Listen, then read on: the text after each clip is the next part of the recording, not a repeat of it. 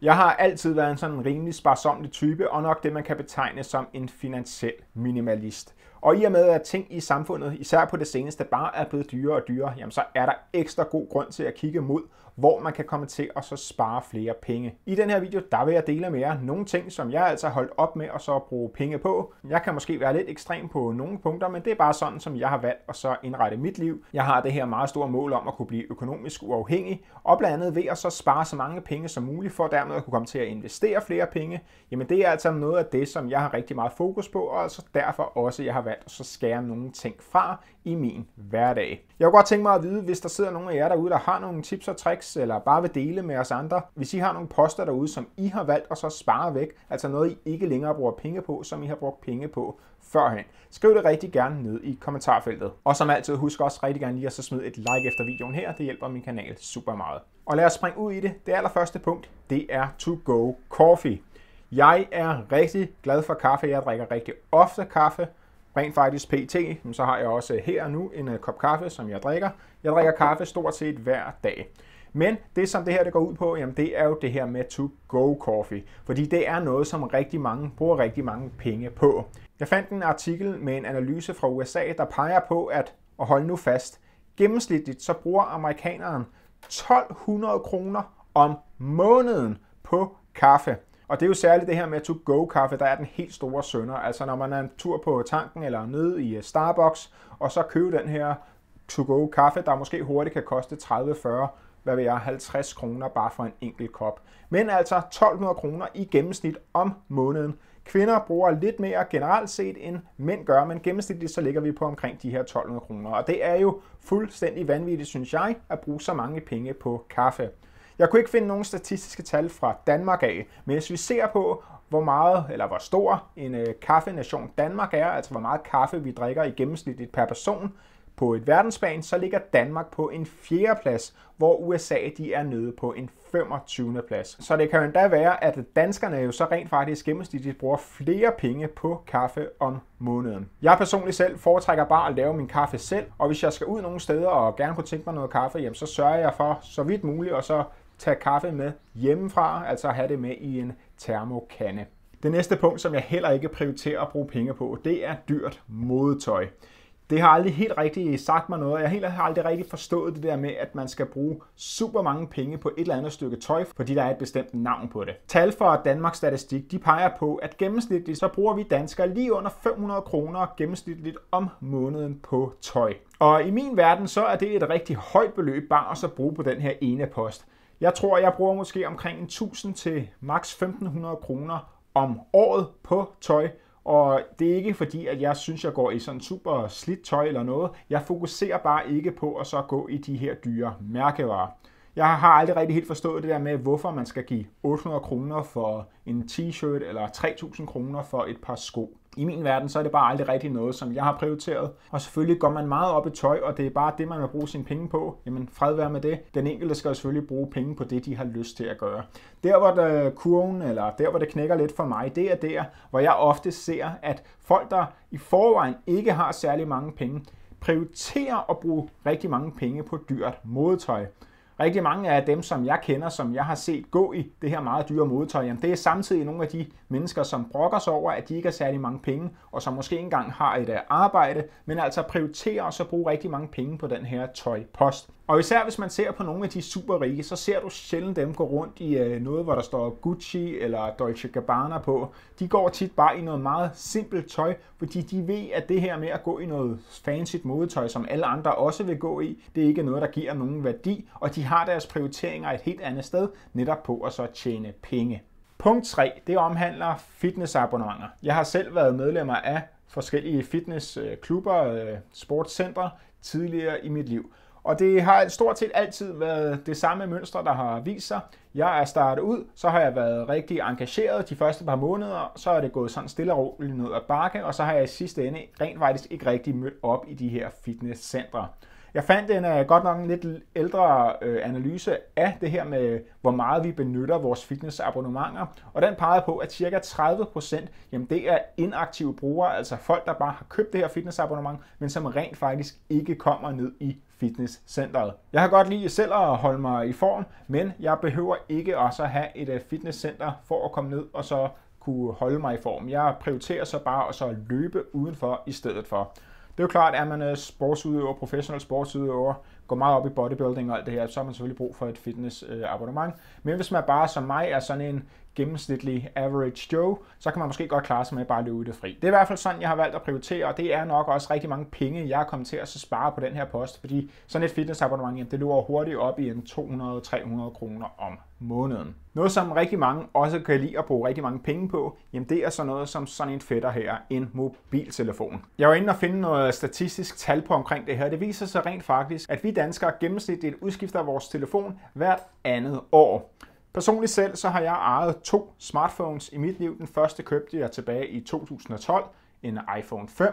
Den blev desværre stjålet for nogle år tilbage, og så måtte jeg jo så købe en ny, og så blev den så udskiftet med den her Huawei, som jeg gav, jeg tror, 1200 kroner for. Selvfølgelig taber man sin telefon, og den går i stykker, jamen så kan man jo være nødsaget til så at få den udskiftet. Men det her med at så ud og så købe den nyeste iPhone hver gang den udkommer, som jeg jo desværre ser, at rigtig mange gør, jamen det er aldrig noget, jeg sådan rigtig helt har forstået. Altså man da vil stå i kø i flere timer for at kunne få lov til at så gå ind og så købe noget for 10.000 kroner, som i mine øjne i hvert fald ikke er 10.000 kroner værd. Og nogle gange så kan jeg godt putte den her gruppe af folk, der vil gøre det her, ikke alle selvfølgelig, men en, øh, en vis del i samme gruppe som det her med modetøjet. Altså folk, der prioriterer også at bruge rigtig mange penge på smartphones, selvom de rent faktisk ikke har en særlig stærk økonomi. Og det er især nok en af de her steder, hvor jeg mener, at man ikke behøver også at bruge så mange penge, og der altså er billigere alternativer. Noget af det, som jeg gør, når jeg for eksempel oplever, at min telefon er begyndt at blive langsom og sløv, jamen jeg går simpelthen ind og laver en fabriks genstart eller en fabriks reset, og det viser sig rent faktisk, at det afhjælper det her problem, og min telefon fungerer så rent faktisk som ny igen.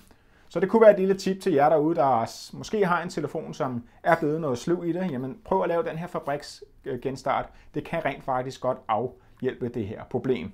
Det næste punkt, det er jo så noget, der er blevet lidt mere aktuelt for mig her i den senere tid, og det er, når det kommer til børnetøj og legetøj.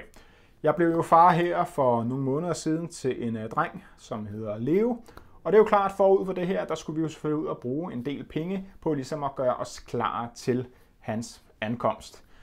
Noget vi dog rimelig hurtigt fandt ud af, jamen det var det her med, hvor dyrt det rent faktisk er at så gå ud og købe legetøj og børnetøj. Så det var noget, vi rimelig hurtigt holdt op med.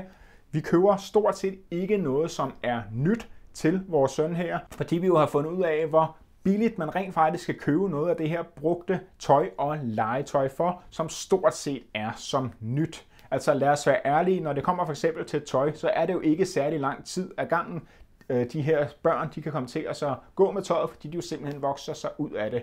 Så meget af det tøj, som vi har fået, en del har vi også fået gratis af familie og venner, og det sætter vi rigtig stor pris på. Men det vi også har købt brugt, jamen det har stort set alt sammen været som nyt, men altså til en brøkdel af den pris, som man vil skulle give oprindeligt for noget nyt tøj. Og det samme kommer til legetøj. Jeg er godt nok overrasket over, hvor dyrt det er. For eksempel at gå ned og købe noget nyt legetøj i øh, Toys R Us for eksempel, i forhold til hvor billigt du kan købe brugt legetøj. Nu har jeg noget herinde i rummet her som et eksempel. Jeg kan lige prøve at vise det her, lige køre kameraet ned. Øh, som er den her fætter, som er sådan et øh, lege stativ her. Nu ved jeg ikke lige, hvor godt I kan se det på kameraet. Øh, men sådan en fætter her, hvis vi skulle ud og købe den ny, øh, ny i øh, Toys R Us for eksempel, jamen øh, der tager de cirka 400-500 kroner for sådan en fætter her. Den fandt vi øh, brugt i en øh, sådan en brugt øh, øh, butik, eller hvad det hedder, for bare 40 kroner. Altså noget, der som, for, som ser ud til at være fuldstændig nyt, jamen altså det kan vi få til en tiende del af prisen. Så det er noget, vi er gået rigtig meget op i, altså det her med at så ikke bruge penge på nye ting, fordi lad os også være ærlige, vores nu fire måneder gamle søn, han er nok ret så ligeglad med, hvad mærke tøj han går i, og om der er en anden baby, der har haft det på før ham.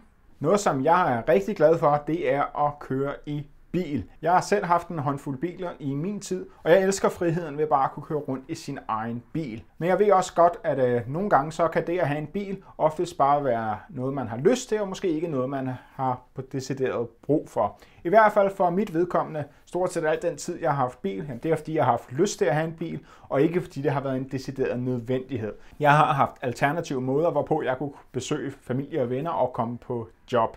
Man kan selvfølgelig være i en situation, hvis man bor langt ude på landet, hvor det at have en bil, det er en nødvendighed. Men det at have en bil, det er jo altså en rigtig stor økonomisk post, og for mange så er det den anden største post, som vi har lige efter boligposten.